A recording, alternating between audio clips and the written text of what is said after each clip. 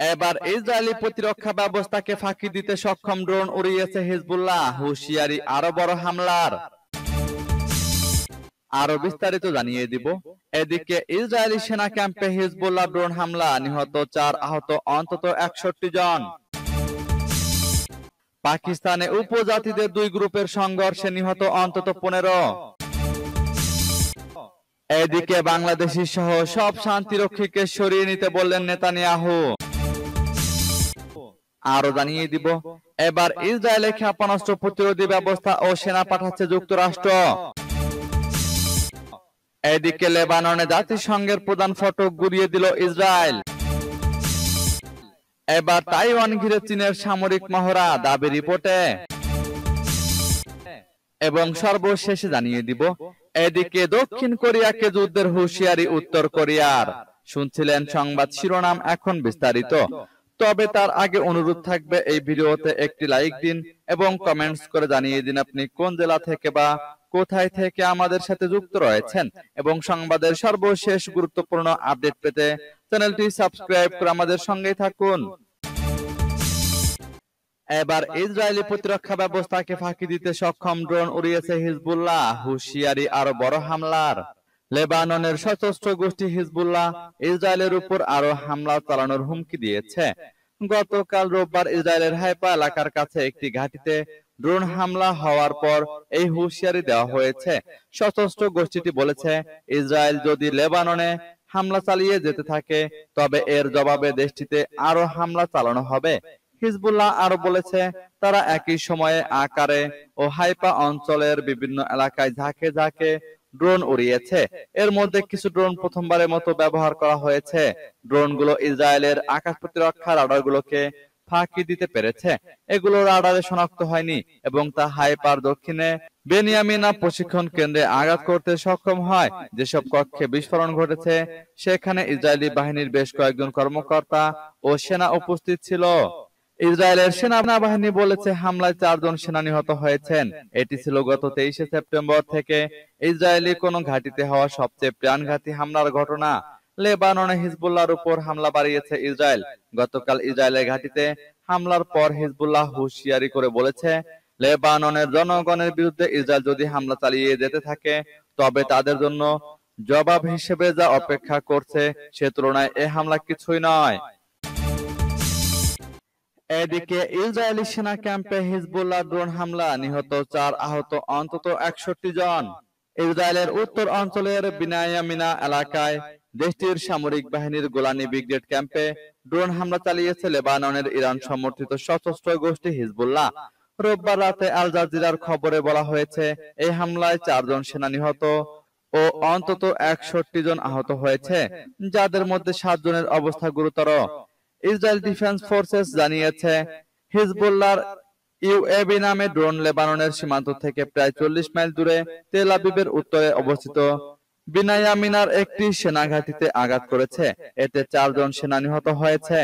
ইসরায়েলের ম্যাগেন David Adom জরুরি পরিষেবার মতে হামলায় মোট একষট্টি জন আহত হয়েছে।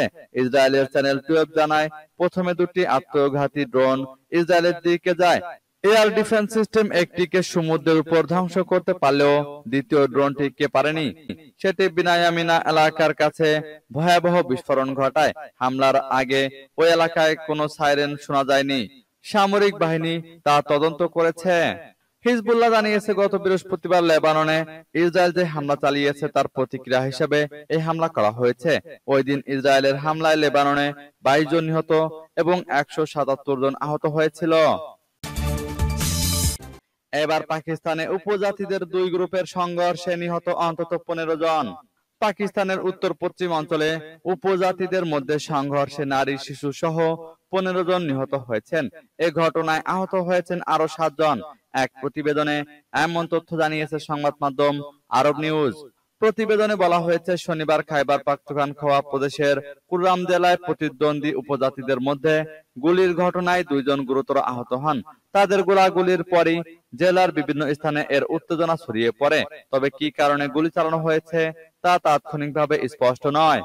Parachinar DHQ medical superintendent doctor Syed Mir Hasan বলেছেন আহত একজনকে হাসপাতালে ভর্তি করা হয়েছে।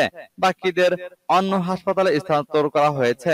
স্থায়ী শান্তি পুনরুদ্ধার এবং পরিবহনের নিরাপত্তা নিশ্চিত করার লক্ষ্যে জরুরি পদক্ষেপ নেওয়ার ঘোষণা দিয়েছেন কুরাম জেলা প্রশাসক জাবেদুল্লাহ মাহসুদ। দুই উপজাতির মধ্যে এমন ভয়াবহ সংঘর্ষের ঘটনায় স্থানীয় নেতারা উদ্বেগ প্রকাশ করেছেন। এদিকে বাংলাদেশি সহ সব শান্তিরক্ষীকে সরিয়ে নিতে বললেন নেতানিয়াহু।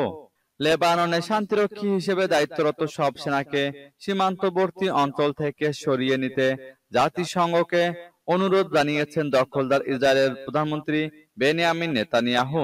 রোববার ইংরেজি ভাষায় দেওয়া এক ভিডিও বার্তায় এ কথা বলেন তিনি।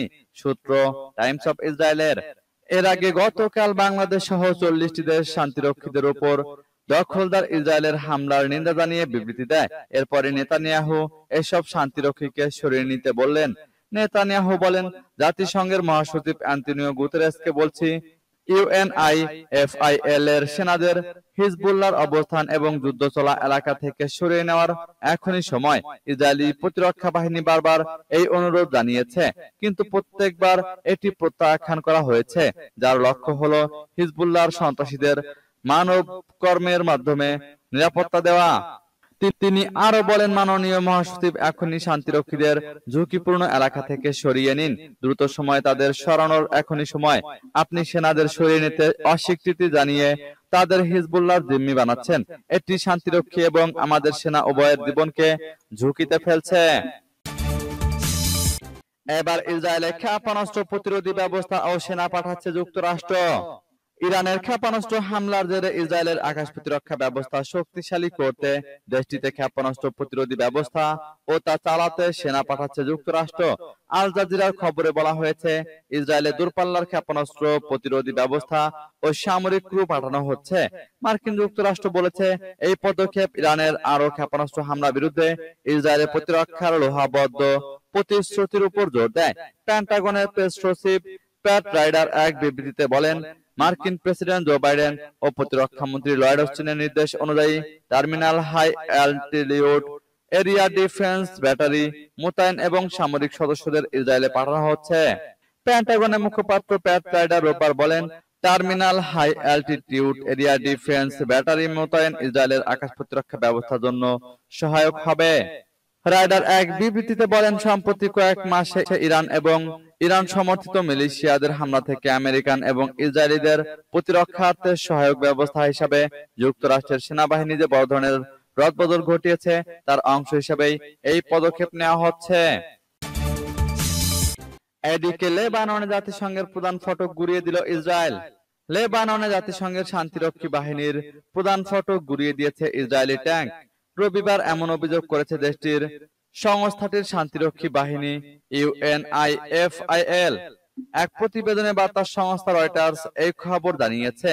সামাজিক যোগাযোগ মাধ্যম এক্সে ইউএনআই এফআইএল এর অফিসিয়াল পেজ থেকে জানানো হয়, লেবাননে তাদের অবস্থানের উপর অতিরিক্ত ইসরায়েলি লঙ্ঘন রিপোর্ট করা হয়েছে। রোববার সংস্থাটির প্রধান ফটক দিয়ে ইসরায়েলি ট্যাঙ্ক জোরপূর্বক প্রবেশ করেছে। এ বিষয়ে এক্সে করা পোস্টে সংস্থাটি জানায় ইউএনআই এফআইএল এর আদেশপত্রে সংস্থার কার্যক্রম পরিচালনায় চলাফেরা স্বাধীনতা প্রদান করে এবং এতে যে কোনো সীমাবদ্ধতা রেজুলেশন সতেরোশো একের লঙ্ঘন। এই পোস্টে আরও বলা হয়, আমরা এই ধরনের ভয়াবহ লঙ্ঘনের জন্য আইডিএফ এর কাছে ব্যাখ্যা চেয়েছি। এদিকে রবিবার ইসরায়েলের প্রধানমন্ত্রী বেনিয়ামিন নেতানিয়াহু বলেছেন, জাতিসংঘকে অবশ্যই লেবাননের দক্ষিণ অঞ্চল থেকে শান্তিরক্ষীদের প্রত্যাহার করতে হবে। এবার তাইওয়ান ঘিরে চীনের সামরিক মহড়া দাবি রিপোর্টে। তাইওয়ান ঘিরে সোমবার যুদ্ধ বিমান ও জাহাজ মোতায়েন করেছে চীন। বেজিং বলেছে, নতুন এই সামরিক মহড়ার উদ্দেশ্য তাইওয়ানের বিচ্ছিন্নতাবাদী বাহিনীকে করা সতর্ক বার্তা দেওয়া। চীন আরও বলেছে এই মহড়া রাষ্ট্রীয় সার্বভৌমত্ব ও জাতীয় ঐক্য রক্ষার জন্য একটি বৈধ ও প্রয়োজনীয় অভিযান।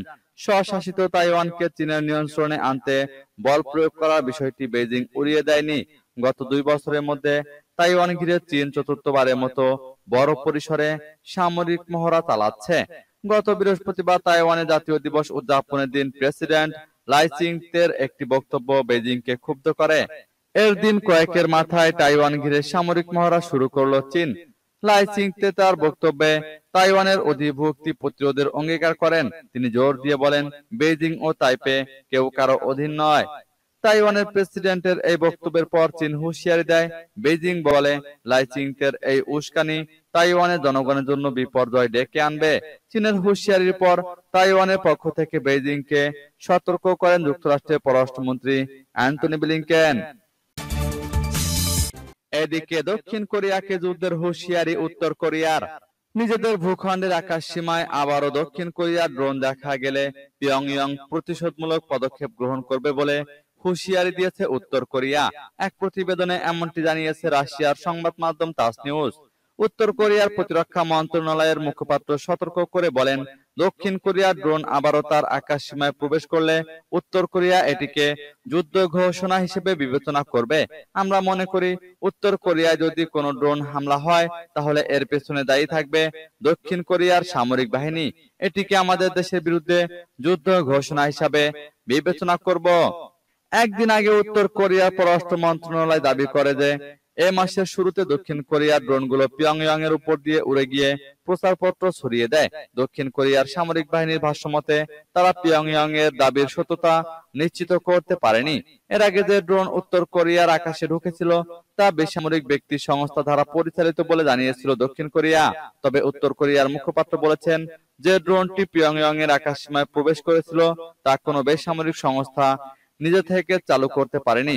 কারণ ওই ধরনের ড্রোনগুলি চালু করার জন্য একটি রানওয়ে প্রয়োজন।